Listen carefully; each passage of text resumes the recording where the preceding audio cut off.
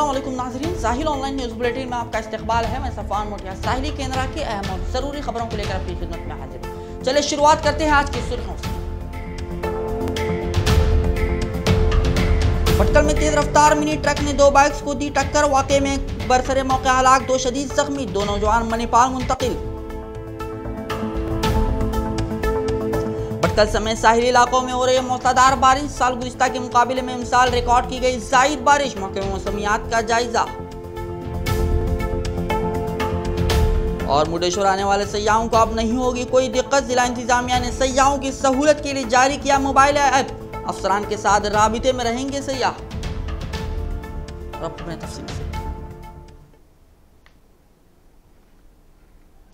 नाजरीन, भटकल बंदर रोड डोंगर पल्ली क्रॉस के करीब कल रात पेश आए सड़क हादसे में एक शख्स की मौके पर ही मौत वाक़ हो गई, जबकि दीगर दो शदीद जख्मी हो गए। तफसीलात के मुताबिक एक तेज रफ्तार बोलेरो मिनी ट्रक ने पहले एक बाइक को टक्कर मार दी, जिसे वो कुछ दूर तक घसीटता हुआ ले गया, जिसके बाद एक दूसरी बाइक को भी टक्कर मार दी। हादसे में एक बाइक सवार नागप्पा नायक की मौत वाक़ हो गई तो दूसरी बाइक पर सवार दो नौजवान सऊद ताहिरा और मरवान जाफरा के सर, कमर और पैरों में शदीद चोट आई, जिन्हें भटकल में इब्तदाई तिब्बी इमदाद फराम करने के बाद मणिपाल मुंतकिल किया गया।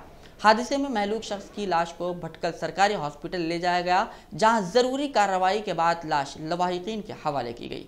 भटकल टाउन पुलिस थाने में मामला दर्ज किया गया है।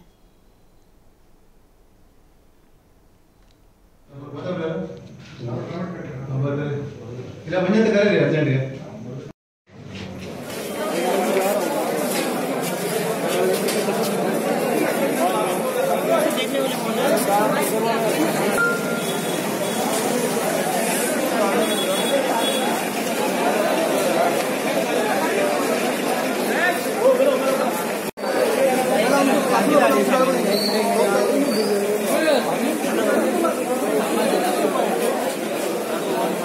Bravo.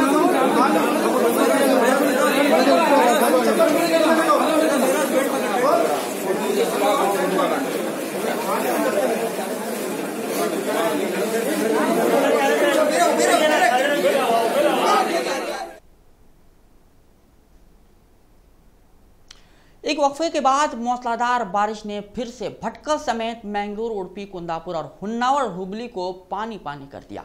आज दोपहर से शुरू हुई मौसलाधार बारिश, शाम तक मुसलसल बरसती रही, जिससे आम ज़िंदगी मफलूज होकर रह गई। मौके मौसमियात के मुताबिक गुजशत साल तीन हज़ार दो सौ छः अशारिया नौ मिलीमीटर बारिश रिकॉर्ड की गई थी, जबकि भटकल में अब तक तीन हज़ार पाँच सौ पंद्रह मिलीमीटर बारिश रिकॉर्ड की गई है।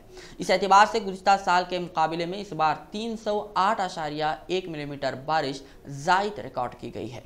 अचानक मौसलाधार बारिश से लोगों को काफ़ी दिक्कतों का सामना करना पड़ रहा है। भटकल और साहिली इलाकों में आसमान अब भी अबरालूद है, जहाँ मजीद भारी बारिश के इम्कान जताए जा रहे हैं।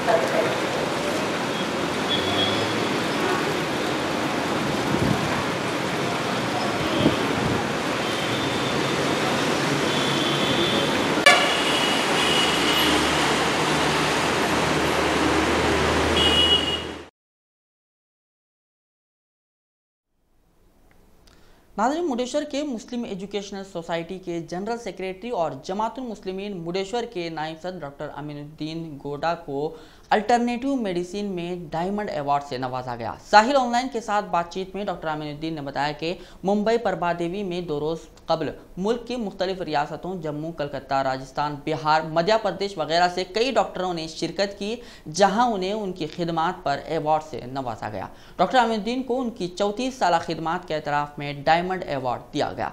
इस प्रोग्राम में मुंबई की कई सियासी और समाजी शख्सियात मौजूद थी।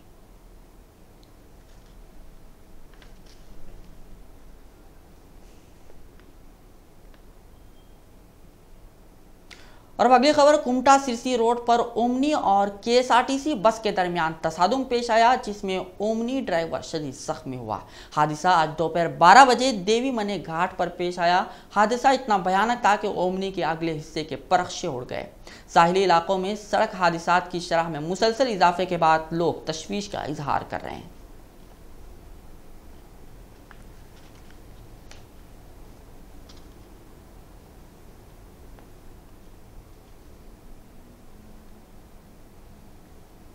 नाजरीन, सियाहत को डिजिटल टच देने के लिए उत्तर कन्नड़ जिला इंतजामिया और महकमे सियाहत ने एक ऐसा एप्लीकेशन तैयार किया है जिससे सयाह और हमला दस्तियाब खदमात से रबते में रहेंगे।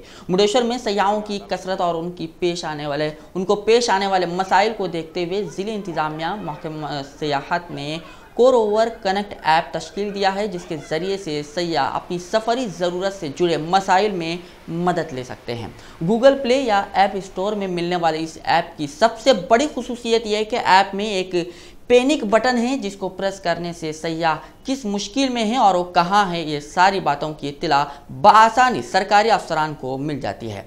जानकारों का कहना है कि इस ऐप के इस्तेमाल से सयाह अपना सफ़र बसानी मुकम्मल कर सकते हैं।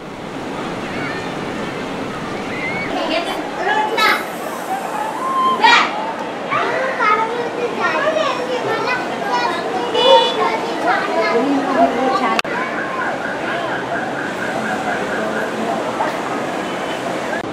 라이팅은 안 달은 거 쓰는 이 상.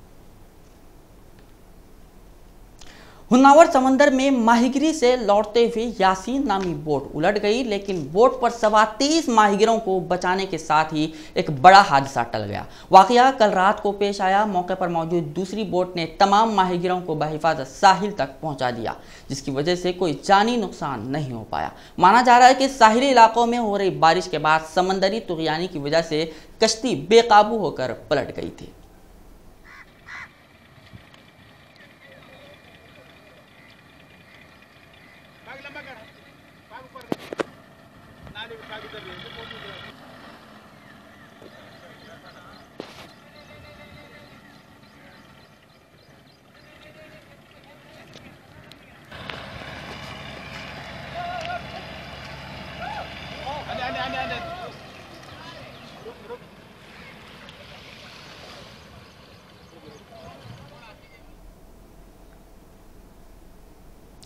सबक वजी अजम और जे डी एस सरबराह एच डी देवे गौड़ा ने इल्ज़ाम आयद किया कि मुल्क की मौजूदा तशवीशनाक माशी सूरत हाल के लिए वजी अजम नरेंद्र मोदी रास तौर पर जिम्मेदार हैं। हुबली में अखबार नवीसों से गुफ्तु करते हुए सबक वजी अजम ने मुल्क की माशी सूरत हाल के लिए बीजेपी लीडर यशवंत सिन्हा के मजमून का भी हवाला दिया।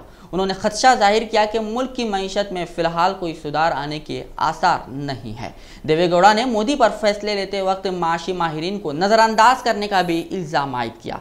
रियासत गवा में कन्नडगाज पर किए जा रहे जुल्म हरासानी की भी सख्त मजम्मत की।